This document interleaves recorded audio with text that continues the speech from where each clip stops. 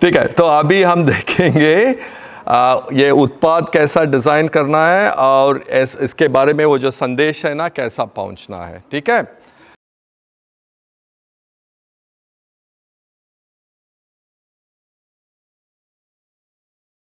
सभी को नमस्कार। आपको अपने उत्पाद और व्यापार के बारे में कैसे संवाद करना चाहिए? आप अपने व्यापार के ग्राहकों के बारे में क्या जानते हैं? किस प्रकार के लोग आपका उत्पाद खरीदेंगे? आप उनकी जीवन शैली के बारे में क्या जानते हैं?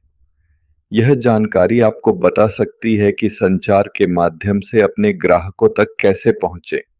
अपने व्यापार के उत्पाद के बारे में सोचें। आपके ग्राहक कौन हैं? एक ग्राहक समूह के बारे में सोचिए। उन तरीकों को पहचाने जिनसे आप उनसे संवाद करेंगे। संचार के उद्देश्य के बारे में सोचें।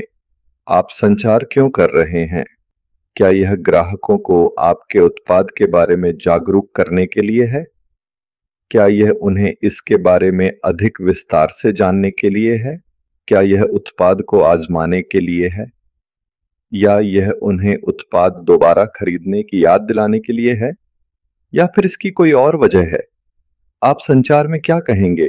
आप कैसे संवाद करेंगे? उदाहरण के लिए फ्लायर्स के माध्यम से, लोगों को बताना। आय प्रत्येक ग्राहक समूह के लिए, इसे दोहराएँ। एक सफल व्यापार के लिए, संचार मुख्य है, क्योंकि यह दुनिया को आपके उत्पाद के बारे में सूचित करता है। हम ये बताएँगे उसके बाद एक और ये जो एक्सरसाइज है आ, उसके बाद हम कागज़ में लिखने वाले हैं। ये है कि आप उत्पाद क्या है और वो जो उत्पाद है ना उसके लिए आप संदेश के लिए एक चार्ट में जो संदेश है ना आ, उसके बारे में आप एडवर्टाइजमेंट जैसा बनाने वाले हैं एक चार्ट में। ठीक है?